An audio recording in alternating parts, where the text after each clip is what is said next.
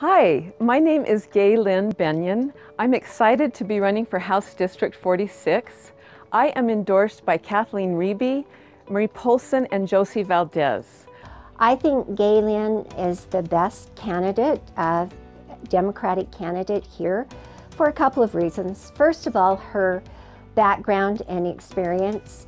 I've known her for several years. She's been very active out here in District 46, not at the state, but here in our neighborhoods and communities. She's been an activist here.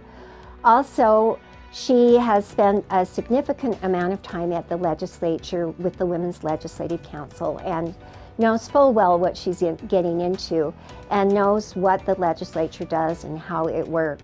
Hi, this is Kathleen Riebe. I'm the senator from District 8. I am so excited to endorse Gay Lynn Bennion for House District 46. Gay Lynn has been a strong advocate for the people in our communities. Gay Lynn attends many of our community council meetings and she also attends meetings about road construction and trails. Gay Lynn has been an active participant in many of our local decisions. She works on campaigns so that we can have great representatives and I strongly endorse Gay Lynn for House District. Please call me so we can get to know each other and I'm already here for you. Let's just make it official. Thank you.